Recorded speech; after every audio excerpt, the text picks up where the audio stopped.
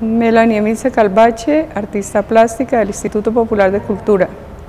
Eh, nos pusimos de acuerdo para rescatar esa, esa energía femenina, espiritual que nos mueve a todos y que se mueve en el todo. Entonces cada una desde su expresión, desde su técnica, desde su pensar y sentir, hemos eh, trabajado nuestra obra eh, teniendo en cuenta pues que cada una le colocó su nombre propio.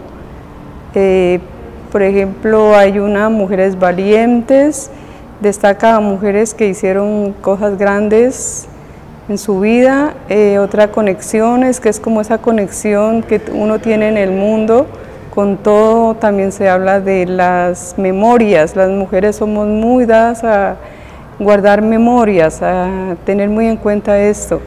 Eh, la acidez del pensamiento, otra obra muy interesante y la mm, que yo propongo que es mm, eh, la energía espiritual femenina en el todo.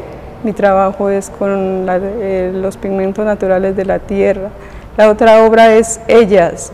Es una obra que nos invita como a, a la introspección, es una obra de, mucho relajamiento por su gama, de sus tonalidades, desde mi corazón y de mi alma. Y en nombre de todas las compañeras, los invito a todos los vallecaucanos, a todos los turistas, a todo el que desee pasar por la biblioteca departamental, que venga a disfrutar de estas maravillosas obras y claro, sería bueno que nos dejaran sus comentarios o su apreciación. Están todos cordialmente invitados, no se la pierdan, sé que les va a encantar.